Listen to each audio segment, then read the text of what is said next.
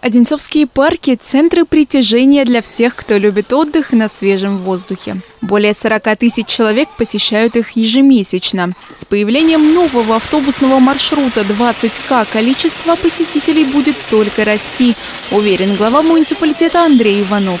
Маршрут связал парки Раздолье и Малевича с Одинцовой Немчиновкой. Глава проехал по нему вместе с представителями родительского сообщества Барвихинской школы. Обещали, сделали. И теперь в течение месяца будем получать обратную связь и подправим э, расписание.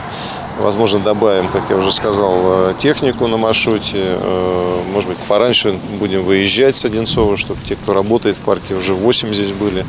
Безусловно, под детей сейчас выстроим очень чутко маршрут и время, потому что много кто ездит из Ромашкова, из Немчиновки в Барвихинскую школу. Представители родительского сообщества Барвихинской школы поделились впечатлениями о поездке. Новый маршрут от станции МЦД Одинцова и Немчиновка до парков Раздолье и Малевича оказался полезным даже для автомобилистов. Честно говоря, не всегда хочется рулить. Вот хочется иногда просто сесть и расслабиться, смотреть э, по сторонам. в этом плане маршрутка, конечно, очень выручает.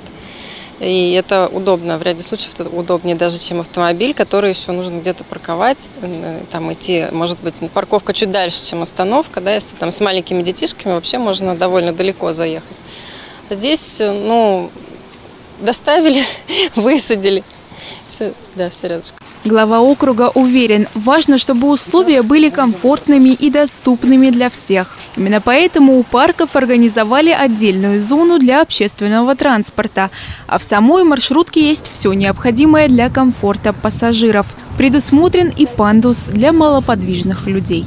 Эмилия Аркелян, Артем Ломоносов, телекомпания «Одинцова».